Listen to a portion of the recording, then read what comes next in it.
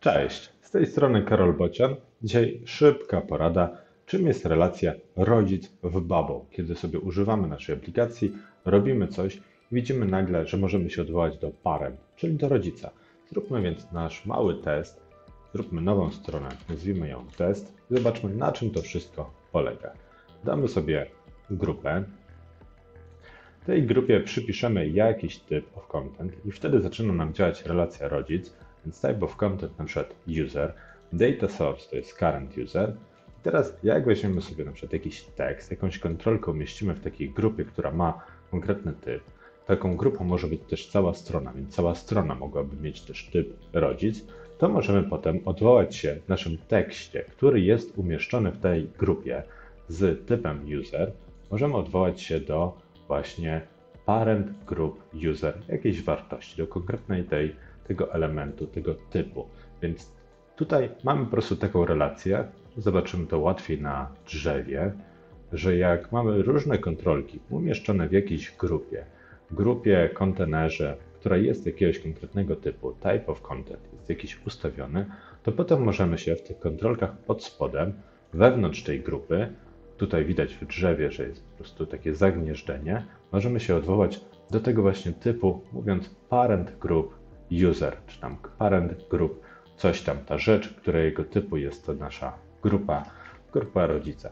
I takie zagnieżdżenia można robić trochę głębiej, jeszcze więcej. Możemy też robić sobie na przykład kilka takich tekstów i tutaj też się odwołać do naszego użytkownika.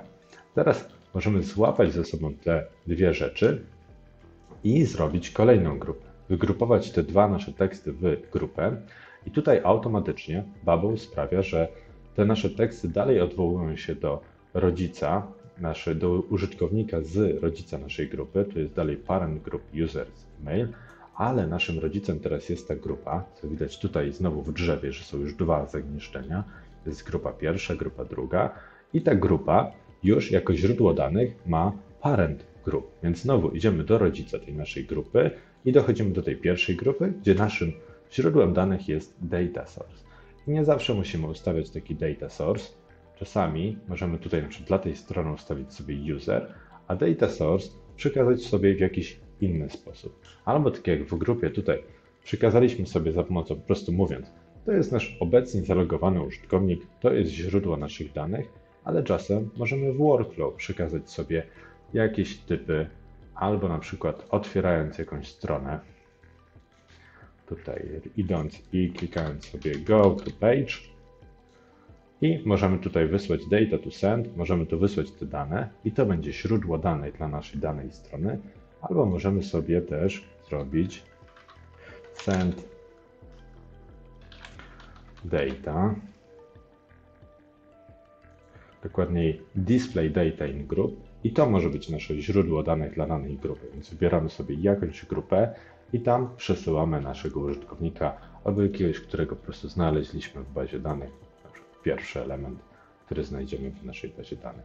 Więc właśnie na tym polega relacja rodzica, że wybieramy sobie w jakimś kontenerze jakiś konkretny typ, a następnie jak go wypełnić, czyli data source, umieszczamy albo wykorzystujemy workflowy, żeby te data source tu wypełnić, żeby wypełnić naszego użytkownika, a później w różnych kontrolkach, które są głębiej wewnątrz tej naszej grupy danego typu, możemy się odwołać do właśnie tej grupy, rodzica naszego.